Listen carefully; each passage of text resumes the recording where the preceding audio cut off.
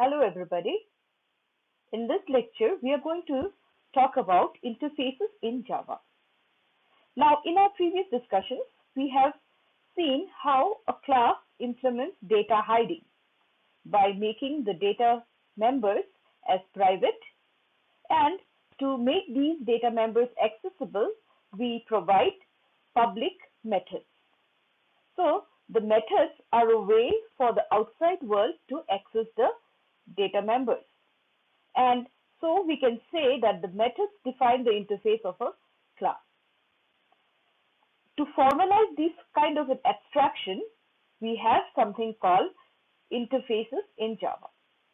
So interface in Java has got a particular meaning just like we have inheritance or we have abstract classes or we have uh, packages. So interface is one such concept of Java which can be used to implement this kind of an abstraction whereby we hide the implementation details and we just provide a view of the data.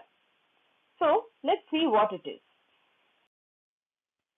So an interface, it defines what is to be done and it does not say anything about how that thing is to be done.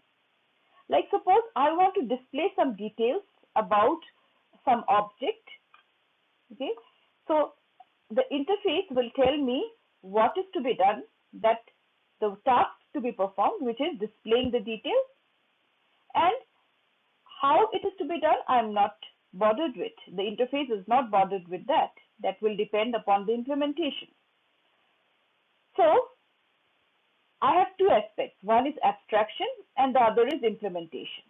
So the abstraction tells me what is to be done, whereas implement tells me how it is to be done.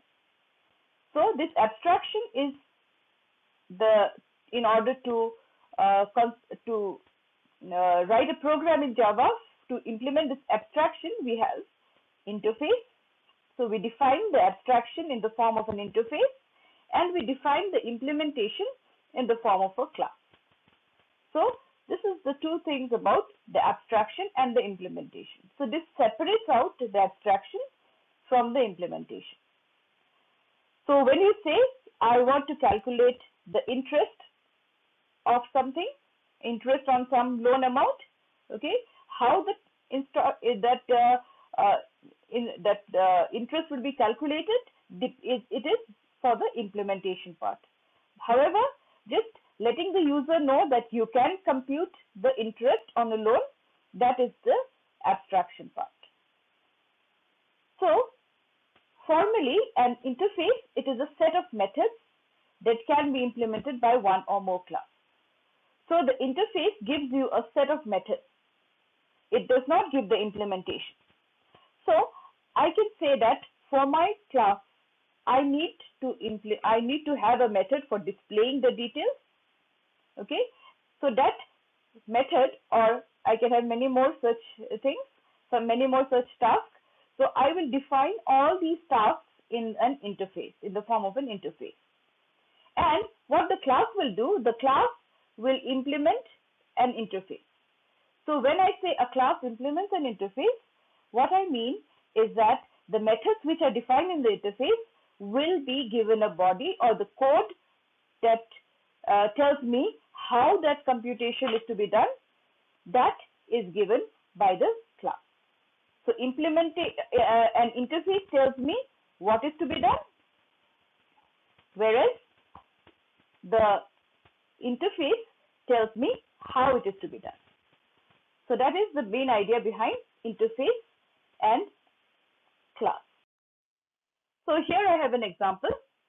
So suppose I have three classes, faculty, student and administrator with different different fields. These are three different of uh, different uh, classes.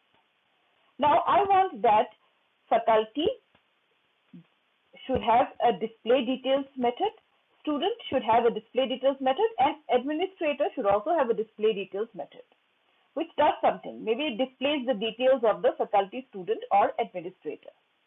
Similarly, I may have, I, wa I want that each of these classes has a generate iCard method. which will generate the identity card of the particular person, maybe a faculty or a student or an administrator. So what we can do is we can define an interface. So this light blue colored uh, figure that you see here, output interface. So this is not a class, it's an interface. So this interface lists out the methods which I want the different classes to implement. And what these classes will do is that it will give an implementation for these methods. So we say that a, a class implements, you can note the term implements an interface. So when a class implements an interface, it gives a body or it tells how the details are to be displayed, how the iCard is to be is to be uh, generated. Now, this details can may be different for the faculty, for the student, for the administrator. Okay, so maybe the, when the iCard is generated, the unique identity uh, number that is generated may be different for faculty, different for student, may be different for administrator. So the implementation will vary. Implementation will vary from faculty to student to administrator. But by implementing this interface, we can say that all three classes we should have a method for display details and should have a method for generate iCard. So this is how uh, the concept of interface and implementation uh, and classes works. Now I may have a class may implement more than one interface. So I may have something like this. I may have another interface which I have named search interface and it has the methods search by name, search by department. Okay, so the classes again may implement this interface as well, the search interface. In that case, the faculty should have a method called search by name, student should have a method called search by name, administrator should have a method called search by department, uh, search by name, and similarly for search by department. So, a particular class may implement multiple interfaces. This is one unique feature about interface, unlike that for of, uh, of, of inheritance. In inheritance, one class can inherit from only one other class. Okay, so you don't have multiple inheritance. This is not inheritance. It is an interface, search by search interface and output interface. So these are interfaces. These are not classes. So a particular class may choose to implement multiple interfaces. So in that case, if we have this particular uh, setup, in that case, each of the classes, faculty, student or administrator must have four methods. Display details, generate iCard, search by name, search by department. And the implementation may be different for each of these. Next, uh, you might think that an interface is very similar to an abstract class. Because in an abstract class also, we define a method, but we don't give the implementation for it. The implementation is given only in the subclass. But this is where the similarity between interface and abstract class ends. Okay, because remember, as I have just said, an abstract class is still a class. Okay, so you can another class can inherit from only one abstract class. Whereas in case of interfaces, one class can or implement multiple interfaces. So you have uh, you can relate or you can put together unrelated classes. You can join together unrelated classes with the help of interfaces. Also, syntax for writing an interface, we'll come to that in a while. It is very similar to that of uh, a class with some restrictions. Okay, an interface, as you have understood by now, it has methods. Okay, but it has it does not have any instance variables. Okay, no instance variables, no method body. So when you give the method signature, you put a semicolon at the end to say that this is that's it one line only, only the signature, no body of the method. And the methods are public by default. Every method that you declare inside an interface is public by default. And variables, I said no instance variables. Okay, so you don't have instance variables, but you can define variables. But these variables are always final, that means constant, and static.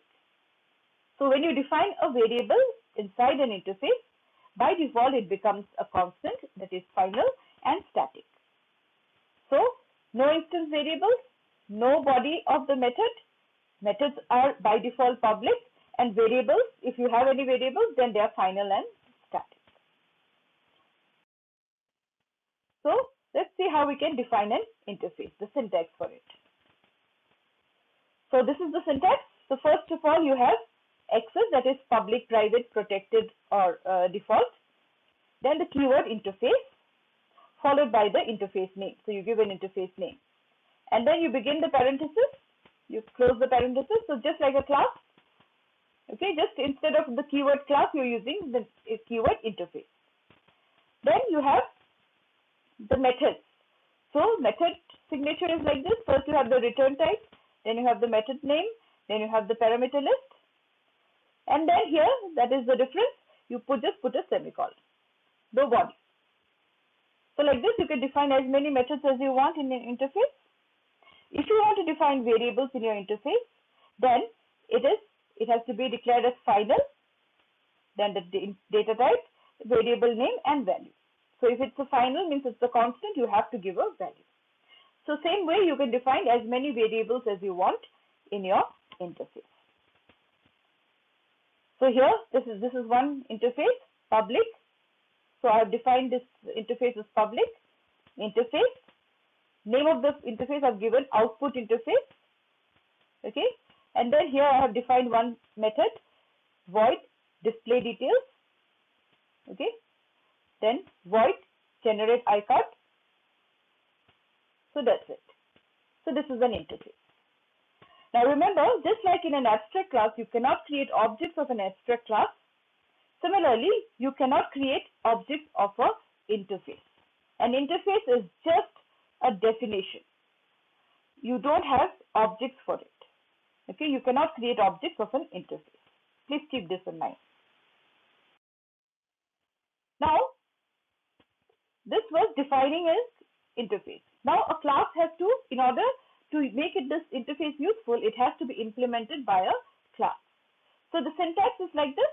You're defining the class here. So class, class name. Then instead of inherits, now this is no inheritance, this is implementation. So the keyword implements is used. So implements, name of the interface.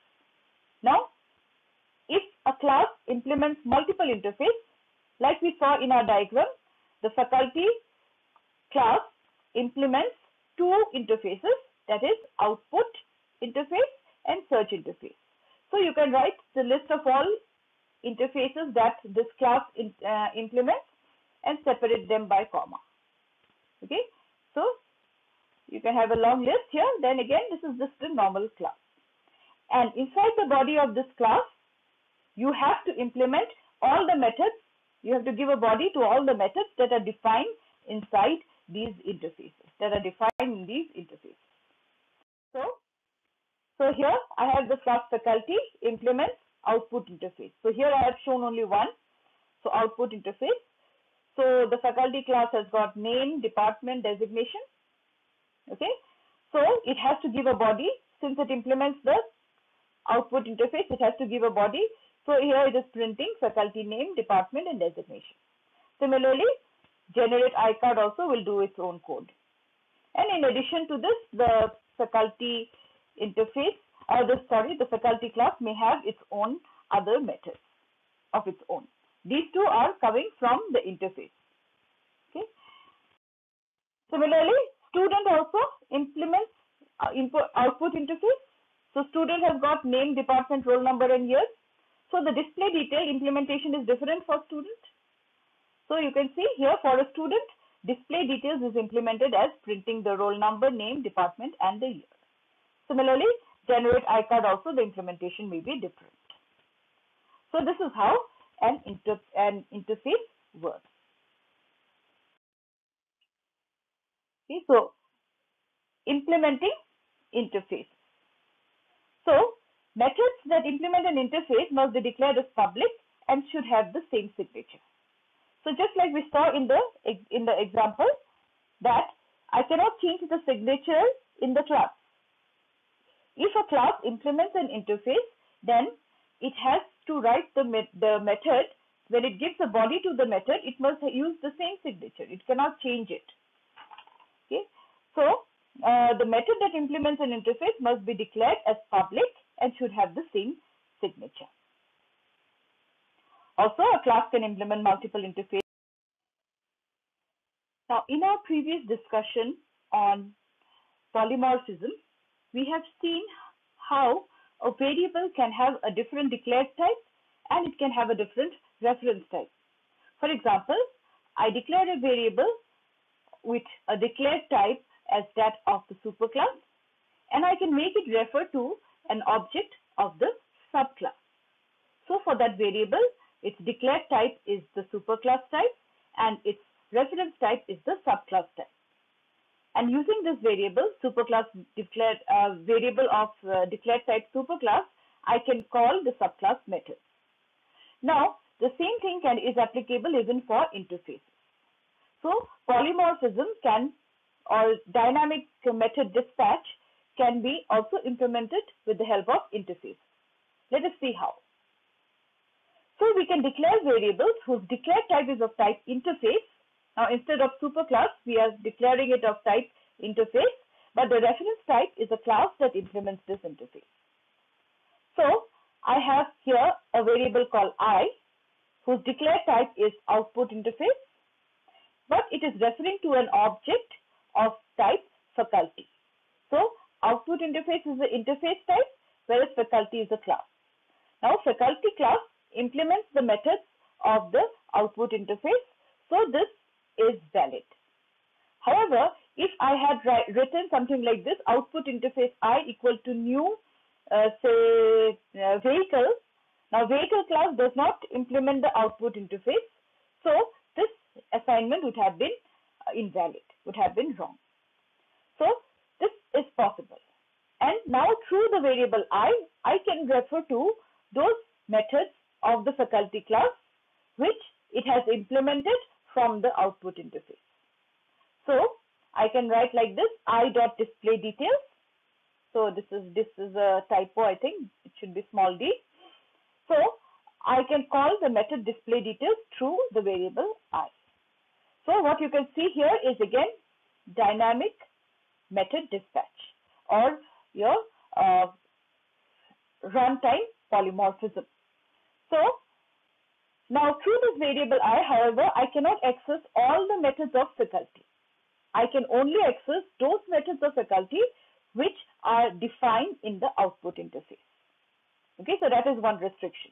So the variable i can only access the methods of the interface implemented in faculty and not other faculty methods. So now I can also change the object reference.